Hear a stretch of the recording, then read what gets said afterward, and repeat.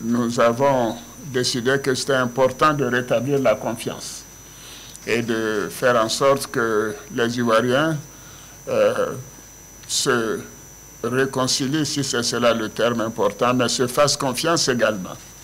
Ces événements ont été douloureux. Euh, il y a eu des euh, morts, de, trop de morts, et nous devons avoir cela derrière nous et travailler sur l'avenir, sur la cohésion, sur la réconciliation.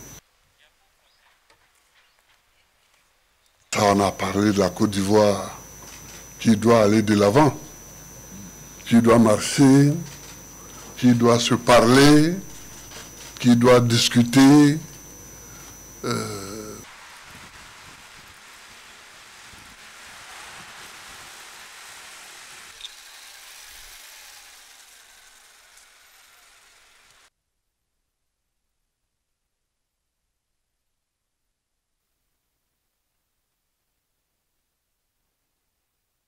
Aujourd'hui, c'est une date historique.